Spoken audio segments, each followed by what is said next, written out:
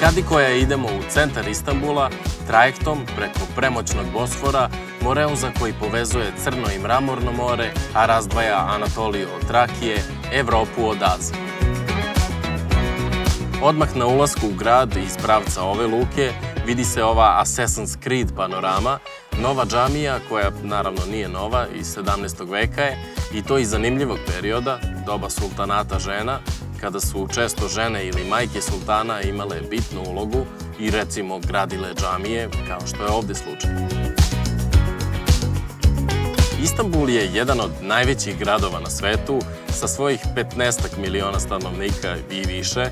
Nije u top 10 po populaciji, ali bio je broj 1 na svetu, kao Konstantinopolj, kada je prestigao Rim u četvrtom veku. Čisto da dobijete sliku, Istanbul ima više stanovnika i od Srbije, i od Belgije, od Portugala, Grčke i tako dalje, takođe je veći od 35 zemalja.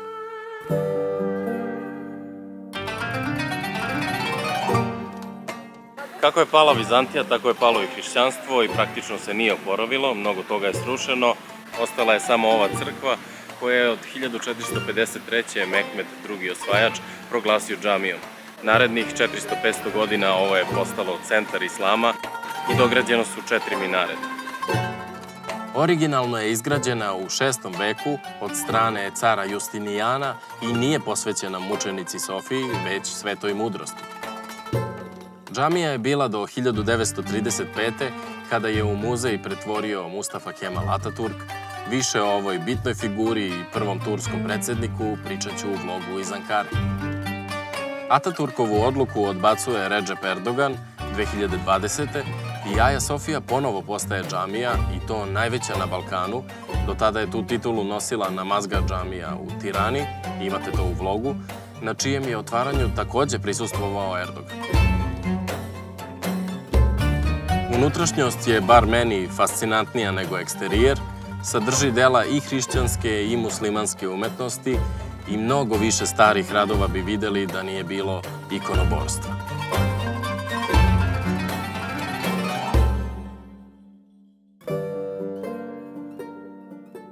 Stubovi su doneti iz Artemidinog hrama u Efesu, koji je jedan od sedam svetskih čuda starog sveta. Kupola je druga najveća na svetu, prva je ona na Panteonu u Rimu, koja je samo malo veća.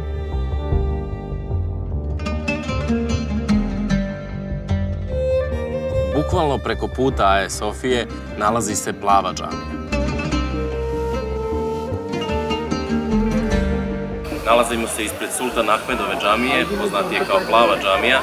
Ime je dobila po plavim pločicama. 20.000 plavih pločica se nalazi na unutrašnjosti kupole džamije iz 17. veka. Te pločice smo slabo mogli da vidimo, zbog rekonstrukcije i generalno nismo videli mnogo plave boje, ali eto, postoje. Takođe, još nešto što nismo videli su Noeva jaja na lusterima, koja služe da se paučina ne bi hvatala na njih. Džamija ima pet glavnih kupola, šest minareta i osam sporednih kupola. Izgradio je Ahmed I, koji je na vlast došao sa 13 godina. Sa 19 je naredio njeno zidanje i jedva je uspeo da vidi završetak radova, s obzirom na to da je umro od tifusa u 27. godini života. Ceo trg se i zove po njemu, Sultan Ahmed trg. To je zvanični naziv, lokalci bi pre rekli trg konja ili hipodrom, jer su ovde stvarno bile trke konja i kočija, ali i cirkus i sportski i društveni centar Konstantinopolja. Dakle, ne pričamo o skorijoj istoriji, od pada Vizantije dosta stvari je porušeno, odneto, ostala su neka umetnička dela, uglavnom koje su i oni sami ukrali iz drugih zemalja, kao što je ovaj zmijski stup, doneti iz Apolonovog hrama u Delfima, koji je izliven još u 5. veku pre nove ere kako bi proslavio pobedu Grčke nad Persijom. Ovaj obelisk je iz Luksora, Egipta, i star je oko 3500 godina, dosta dobro očuvan, i još jedan obelisk je sa druge strane, ovaj nije donet, sagrađen je ovde u 10. veku, prvobitno je bio pokriven pozlaćenim bakarnim pločama, ali ostalo je samo ovo kameno jezgro. Iza mene se pruža predivan pogled na plavu džamiju, ništa se ne vidi. Stvarno, zbog rekonstrukcije nije neki pogled ni iznutra, ni iz polja i ovo će trajati bar još nekoliko godina.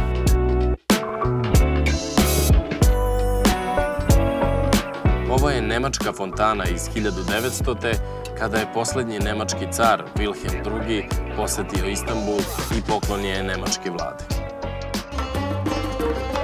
Hrana u Turskoj, ne moram ni da pričam, znate da je odlična, ali smo nekako jurili da vidimo znamenitosti, pa smo jeli tek kad shvatimo da smo pregladni i onda obično uđemo u prvi lokal, tako da se nismo baš proslavili, definitivno se treba raspitati gde se dobro jede. Odvratno. Za doručak bez greške jedemo pide, što je nešto između pice i pite i uz to obavezno ajran.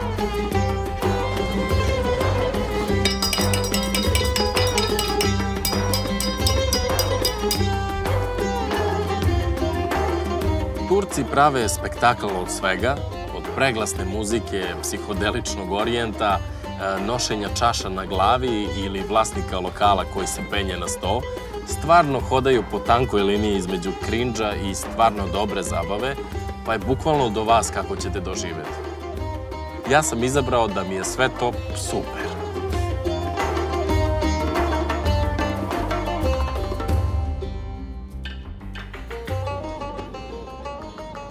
U smeštaj se vraćamo podvodnim metrom koji vodi ispod Bosfora, brža varijanta nego trajekt, ali nema lep pogled.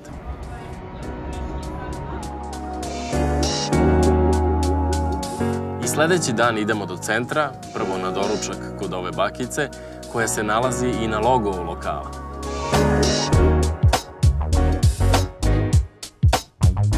Postoje baš jeftine ekskurzije krstarenja Bosforom, ali smo deo videli sa trajekta, pa smo ostavili tu turu za drugi put. Ova zgrada sa kraja 19. veka je zapravo železnička stanica, zatvorena je 2013. ali do tada je bila najprometnija železnička stanica u Turskoj i međugradska i regionalna.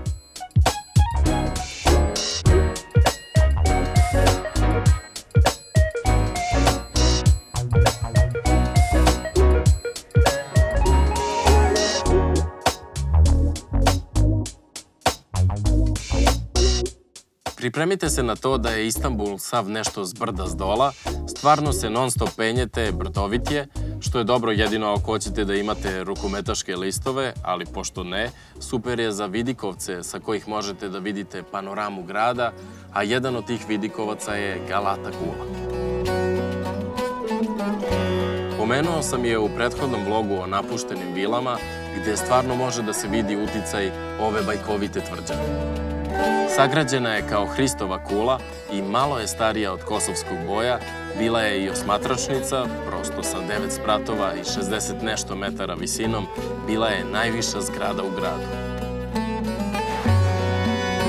Nismo stigli da uđemo u nju, ali da znate da je gore 360 stepeni sjajan vidikovac, a postoji i mini muzej. Inače, zidovi su debeli skoro 4 metra. Ako idete u Istanbul, nemojte nikada doći u ovaj restoran. Znači, samo seljaci dolaze da jedu tu. Instagram seljaci. Da znate. Fuj. Ovo je moja drugarica Jovana, vidno izrevoltirana trendovima, inače uvek nasmejana osoba i osoba sa Uber aplikacijom. Stvarno smo se jeftino vozili po Istanbulu. Ovde je shopping nezaobilazan i stvarno poneli bi sve u Srbiju, u jednom trenutku Stefan i ja kao muškarci gledamo neke meblove i kao aj kupimo 3 metra ovog, koliko je sve dobro.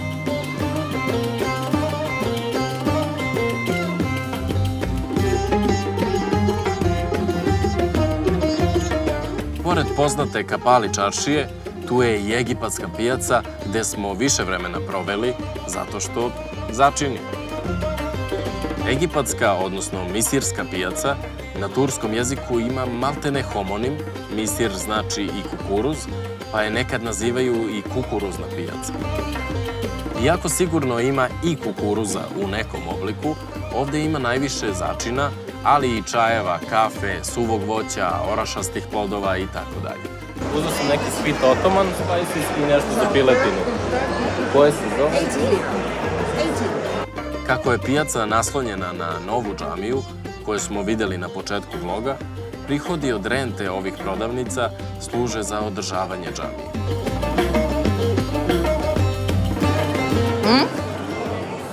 Ne diyorsun? Pa imam već kumin. Imam iz Albanije sam donao kumina. Ceo bazar ima oko 85 radnji, a osim navedenog u prodaji su i slatkiši, ratluk naravno, nakit, suveniri, parfemi. Ovaj momak nam je bio simpatičan, pa smo kod njega najduže ostali, iako smo iste stvari mogli da nađemo i na drugim štandovima, ali ako već kupujemo dosta svega, bolje da to uradimo na jednom mestu zbog popusta, obavezno se cenkamo ili tražimo neki poklon na kraju.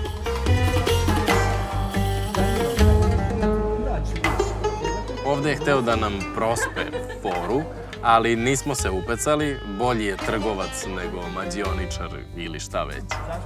When you put in the boiling pot, it will bloom. And like this. Sad gledamo čajeve, ove njihove u prahu. Svi imaju sti, ovu steviju, sad sam prešao na steviju. Steviju, tako da su baš slatki, ja bi malo stavljao kašičica, dođe ovdje. Dakle, otprilike, ja sam mislio 100 grama ću uzeti, ali malo je 100 grama, bar po 200 bi preporučio, jer treba oko 6-7 kašičica malih da bi za celu šolju. Mi sad pijemo ovde iz malih šoljica, recimo ovo je jedna, dve. Ja mislim da je dve previše, zato što te stevije je preslatko, ali ukusi su fenomenalni. Znači, sad ćemo da probamo ružu. Hoćemo prvo lepo ili ružno? Znači, ovo je very healthy, znači ružno. Šta ima? Ua, ua, cinnamon. Yes. It is also kiwi nar. black mal- Black? znam šta, ali ajde ružno. Lepo je ružno. Preporučujem ružu. Mango sam uzeo, uzeo ovaj eukaliptus i honey ginger isto lepo. Ne padajte na šafran ovde, naročito ako je jeftin, nije to onaj najkvalitetniji kao što je u Iranu i šafran treba da bude skup. Kratka mu je sezona, može samo ručno da se bere, jer se samo tučak koristi, pa za 1 kg ovog najskupljeg začina na svetu vam treba i do 200.000 cveta.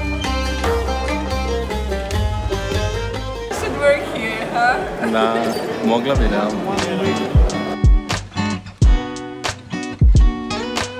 Jako lep park, samo da nije februar i da nije 7 uveče.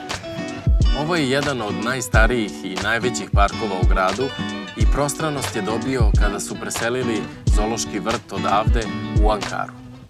Gulhane znači dom ruža i mnogo lepo izgleda kada je sunčano vreme.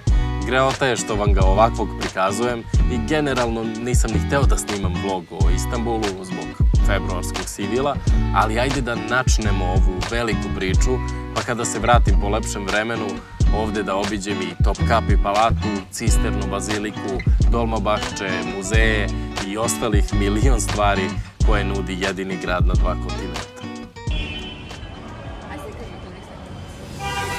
U Tursku sam došao posle tačno 20 godina i mada mi je plan bio da vidim Burj Al Babas i Istanbul, slučajno sam završio u Ankari. Promena cena letova naterala me da odatle jeftinije letim za Beograd, čudne okolnosti, ali uvek gledajte sve mogućnosti.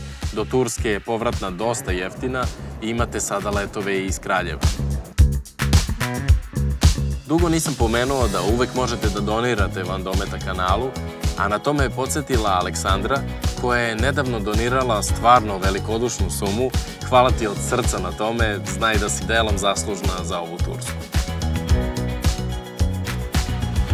Moram da se zahvalim i čoveku koji mi je našao prevoz za Burj Al Babas i koga moji roditelji pominju već godinama kako nisu imali boljeg vodiča. Ja rekao moram da upoznam Ismeta i stvarno je čovek enciklopedija, prošao je celu Tursku, od 87. je vodič i dugo, dugo već živi u Istanbulu. Znači, od svih gradova pretpostavljam da ste Istanbul najviše radili. Da. Da ga najbolje poznajete. I koliko je to, na koliko ljudi dana dođu? 3, 5, 7, 8, na A ne zna se, e, a ovde, U proseku, a, koliko da, kod vas koliko dođe? dana dođu da, za obilazak? Pa veći deo koji samo dolazu za Istanbul, to je tri ili četiri noćenja. A ima isto kružne ture koje, na primjer, počine Čanakalje Bursa, pa posle se ide dole, spušta se ka Izmir i ovaj, Kušadasi, Pamukkale, Kapadokija, ide se Konja, Ankara, to, to je jedna kružna tura fenomenalna koja traje, e, ima programi za sedam dana, ima programi za deset dana. To je baš malo naporno, ali puno, puno, Puno svega. toga se vidi, Turska je bogata. Sve, Kako ljudi mogu da dođu do vas, da, da ih odvedete i provedete Istanbulom, jer definitivno imate dosta iskustva. a, hvala. E, na Facebooku mogu da pozovu Ismet Sanđakli, Sancakli piše. Može, tako može preko vas, preko vaše emisije. Da, da, da. Da, Znači, da da- izvlaču, da. Mogu da ostavim broj telefona? Možete, naravno. E pa super. Eto, ostavit ću broj telefona, pa zovite čoveka da vas provede kroz grad. Eto, kontakt imate, pa uzimajte jeftine povratne karte za Istanbul, angažujte Ismeta i budite sami sebi turistička agencija. Ja sam sam sebi organizovao Ankaru i jedva čekam da vam je pokažem. pozitivne zakone treba još malo da se pozabavim. Alekselo, nasılsın? Şimdi. Hı? Ne zaman çıktı? Bak